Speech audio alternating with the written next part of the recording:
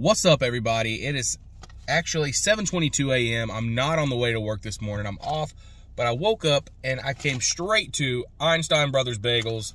I've never had a bagel from there. I've always had their coffees. I did get a caramel cream cold brew, but I'm pretty excited to try bagels. And what other way to get a bagel than like fully loaded? So I got this big. Oh. look at this thing. This is like a, a giant sandwich. And apparently this has brisket on it. Can you believe that? A bagel with brisket. In the morning. I don't know. Oh my goodness gracious. Guys, check this out. Wow, look at it. There's like bacon and jalapenos and cheese toasted on the outside. Oh my gosh. Oh my gosh. Would you look at this? That looks magnificent. Brisket, egg, cheese, toasted bacon, jalapeno, and cheddar on the top.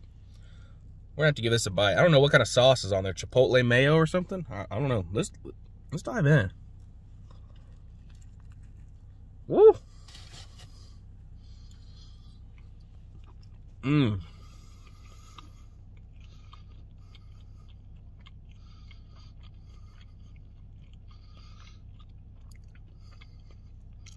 That is so good. Like,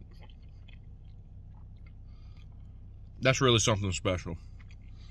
You want a fully loaded bagel? You got to hit that place up. That stuff is amazing. Mmm. Little piece of brisket on this awesome crispy bagel. It's so good, dude.